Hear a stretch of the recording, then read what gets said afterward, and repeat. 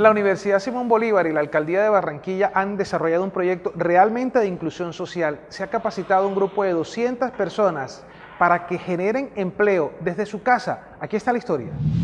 La Universidad Simón Bolívar junto con la Alcaldía de Barranquilla realizó un proyecto donde 350 mujeres fueron capacitadas como gestoras de paz y emprendedoras a través de la Oficina de la Mujer y el Centro de Investigación e Innovación Social José Consuera Higgins, Cisco. Y eso es lo que realmente busca la universidad, que realmente el conocimiento, ¿cierto?, no, quede aquí en las aulas, sino que podamos contribuir a la sociedad a ampliar ese conocimiento. Dentro del programa de gestoras de paz fueron capacitadas 100 mujeres en procesos de construcción de ciudadanía y principios de no violencia con el fin de ejercer liderazgo dentro de las comunidades. Mi compromiso es replicar esta paz, replicar esta transformación en mi familia, eh, en mi comunidad y con el resto del mundo.